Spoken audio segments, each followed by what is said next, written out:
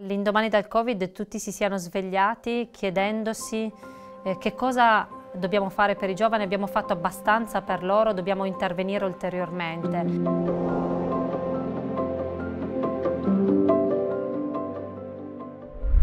La mia sensibilità in realtà è cambiata maggiormente verso eh, un'attenzione un a, a, che in tutte le, le, aree, soprattutto delle città, anche quelle piccole, ci siano degli spazi dedicati ai giovani. Provare a riconcepire delle aree della città destinate a loro, che diventino luoghi di aggregazione nei quali possono discutere e affrontare delle problematiche che gli permettono di, di diventare grandi, possa essere una delle, delle, sfide più importanti da riuscire a, eh, ad interiorizzare tutti noi dopo, dopo la pandemia.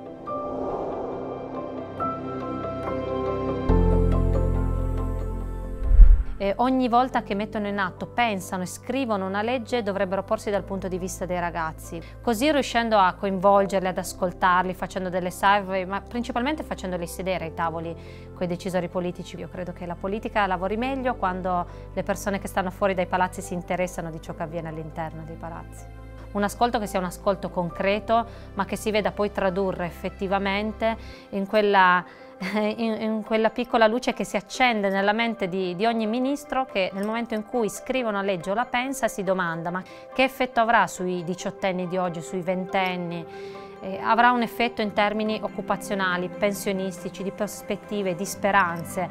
Questa sarebbe la priorità per riuscire a ristabilire quello che è un contatto importante di fiducia che un po' si è persa negli anni.